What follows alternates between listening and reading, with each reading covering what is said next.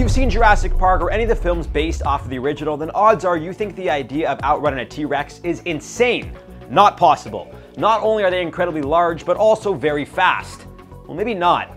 In fact, they may be a lot slower than we initially thought, and given this newfound discovery, well, we decided to ask a very important question should the dinos ever come back. I'm just saying, it's been a wild couple years, guys. Who knows anymore? Today on Life's Biggest Questions, we're asking, could you outrun a T-Rex? Science, baby! Let's go! Woo! Let's go, baby!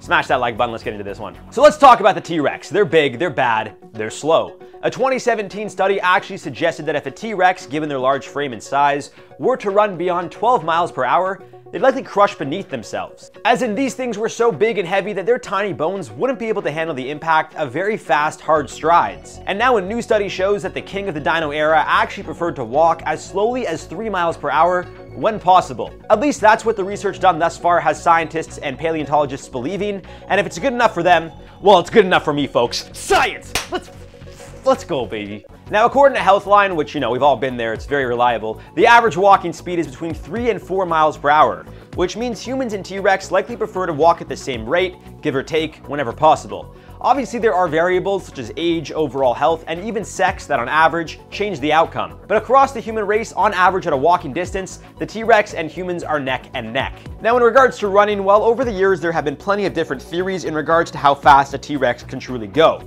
As previously mentioned, a 2017 study led researchers to believe that if this ancient monster would have run beyond 12 miles an hour, it would crush its own bones. However, previous studies, research, and arguments have seen professionals claim that the T-Rex would have been able to run from 10 miles all the way up to 45 miles per hour. The most common consensus is that they would be able to run somewhere between the 22 and 25 mile per hour range. However, with this new study, well, as you can see, there is no way of knowing for sure, and as the years go on, we're just getting further and further, day by day, since the last T-Rex roamed the Earth.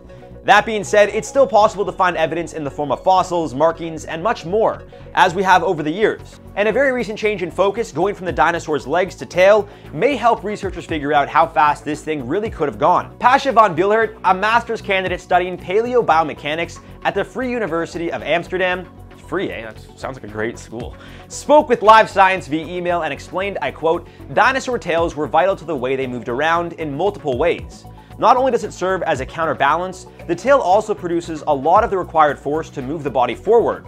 It does this through two large tail muscles, the caudofemoralis muscles that pull the legs backward during each step. In regards to the T-Rex, the tail would have been naturally swinging up and down with each step, something we don't see in animals today really.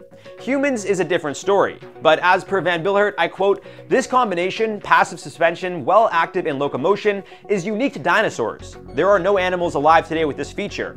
Because of this, we were highly intrigued by its role in the way that T-Rex would have walked.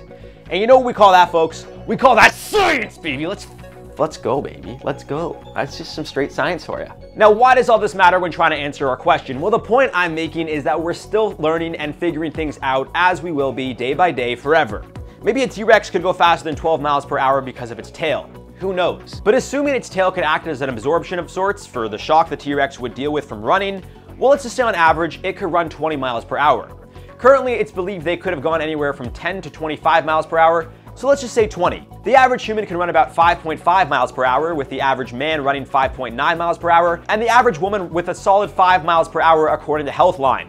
Fun stuff.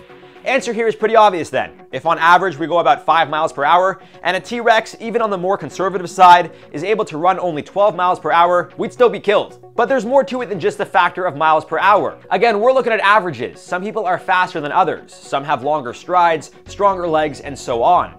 Another important factor would be cardio, endurance. How long can you run? Acceleration is also very important. If you're able to take off like a rocket, well, actually, no, they're, they're kind of slow, aren't they? Like with the whole detaching and counting down to blast off and stuff. But uh, once they get going, though, I mean, they're gone, right? Boom, out of here. Other things speed up over time. So which one are you?